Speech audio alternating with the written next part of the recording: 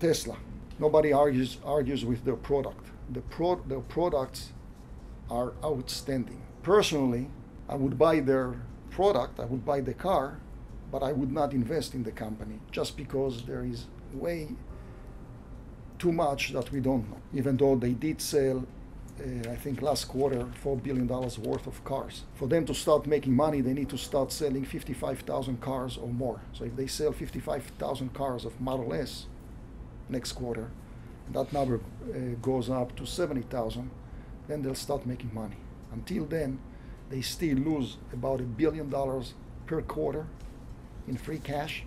A lot of people on the street think that their two and a half billion dollars left in cash is not going to be enough for them to finish the year. They'll have to raise more money. And how exactly are you going to raise more money when you have now a Security and Exchange Commission investigation on you? It's just becoming harder because investors don't like to put money in a company, especially if you have SEC investigators looking at you. Did make a tweet that he has funding in place to buy the stock at four, $420 a share and take it public, where in fact it was not in place. So that is another uh, wrinkle in the story right now because that's another investigation pending. And then the SEC also investigating them on uh, not revealing the true Uh, production issues that they had with the Model S.